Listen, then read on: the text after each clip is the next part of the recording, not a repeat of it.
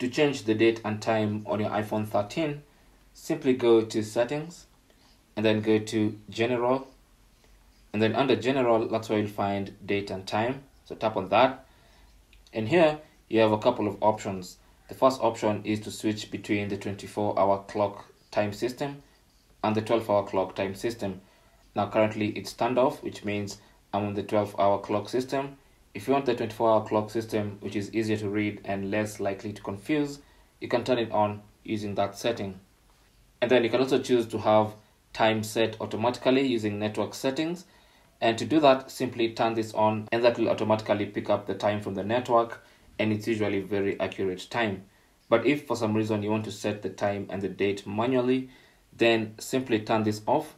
And then now you have access to uh, the calendar where you can change the date and you can also change the time to the time that you want exactly but usually the best way to go about this is to have the time set automatically and have the network time on your iPhone. And that's basically how to change the date and time on your iPhone 13. Thanks for watching. Leave your comments and questions down below. Don't forget to share and subscribe for more tips. Until the next one, my name is Chris, and I'll talk to you guys soon.